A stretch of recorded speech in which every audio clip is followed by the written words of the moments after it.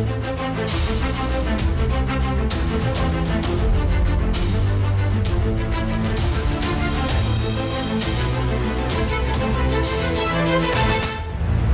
morning candidates this is brigadier Ahmad Narayan from Trishul defence academy Ranchi अभी SSB में जो personal interview होता है, उसमें एक एस्पेक्ट है हॉबी इसके बारे में भी ज़रूर पूछा जाता है। तो आ, हम ये मानते हैं एसएसबी में कि hobby is a important aspect of your personality hobby क्या होता है?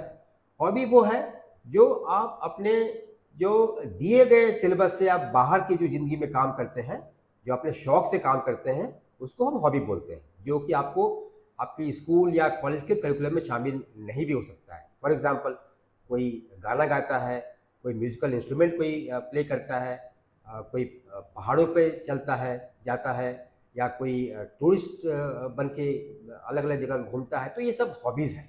तो मैं ये सुझाव दूँगा कि आप अपने ज़िंदगी में ज़रूर कोई न कोई हॉबी आप इंक्लूड करें, ये आपको पर्सनल इंटरव्यू में काफ़ी काम आएगा। अभी हॉबी भी कई प्रकार के हो सकते हैं तो मेरा ये मानना है कि जो एक्टिव हॉबीज़ हैं, जिसमें कि आपका जो इन्वॉल्वमेंट है वो ज़्यादा है, that is more important than passive hobby. अभी एक्टिव और पैसिव हॉबी से मैं क्या कहना चाह रहा हूँ।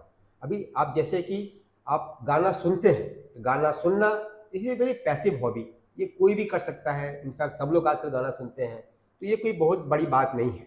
लेकिन अगर आप गाना गाते हैं, या कोई म्यूजिकल इंस्ट्रूमेंट प्ले करते हैं, या आप कोई आउटडोर एडवेंचर एक्टिविटीज़ करते हैं तो ये सब क्या है? ये एक बढ़िया एक्टिव हॉबीज़ है।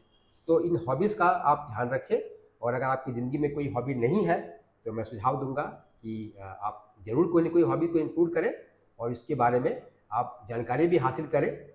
कई बार हम देखते हैं कि कैंडिडेट ने कहा कि मेरी हॉबी है पेंटिंग करना, लेकिन उसको हम सिंपल सवाल करते हैं कि बताओ इंडिया की दो फ़ेमस पेंटर का नाम उनको पता नहीं है।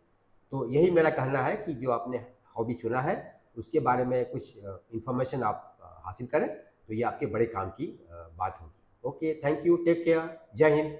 अब डिफेंस एग्ज़ाम क्रैक करना हुआ और भी आसान। त्रिशूल डिफेंस एकेडमी लेकर आए हैं बिल्कुल ही एडवांस लर्निंग ऐप तो आज ही ज्वाइन करें और स्टार्ट करें अपनी ऑनलाइन क्लासेस